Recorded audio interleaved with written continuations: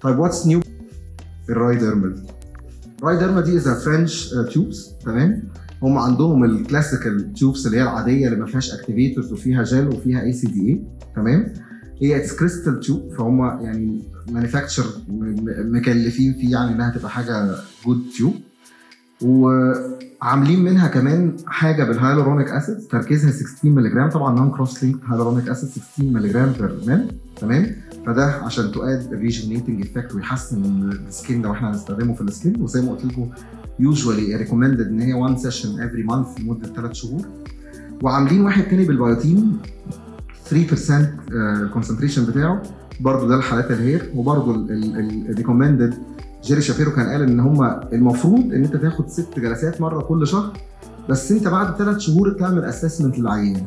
لو لقيت إن في ال hair parameters ك fall أو lengthening أو أي حاجة بتتحسن والعيان is okay كمل كمان ثلاثة وبعدين بعد الستة ابتدي بقى أوسع المسافات كل ثلاث شهور.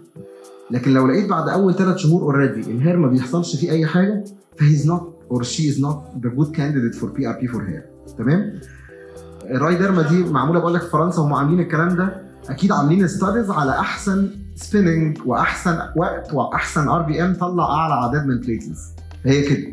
فإحنا we have to be obliged على اللي هم بيقولوه زيهم زي بقيتهم كلهم. يعني كل الباقيين قالوا كده.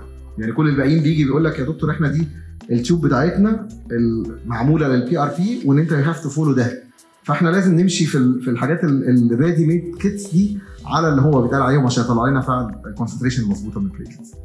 طيب to conclude بقى ال autologous platelet rich plasma يعتبر طبعا خلاص ما بقاش new دلوقتي هو relatively new طبعا وبيدي المفروض promising result في الستيميليشن والاكسلريشن اوف سيف تيشو والبون هيلينج الافيكاسي اوف ذيس تريتمنت بتبقى بتعتمد مين على الكمية الكبيرة جدا من ال growth factors اللي بتبقى delivered بالرغم إن كل ال studies اللي إحنا شايفينها دول يعتبروا few well design scientific studies of the clinical use of PRP وان لحد دلوقتي برضه ال mechanism of action عمالين إن إحنا نقول فيه ده برضه يعتبر undefined ال exact mechanism of action بتاعه إحنا مش عارفين برضه الأساس بتاعه إيه بس كل الحاجات اللي أنا جبتها لكم دي يعني اجتهادات في papers موجودة. mechanism of action mechanism of action أو بيقولوا claimed mechanism of action أو expected mechanism of action فيعني الفيوتشر دايركشن بتاعتنا المفروض ان يبقى في more well designed controlled clinical studies to provide clear evidence of the capacity of PRP to, uh, to improve the patient's outcome.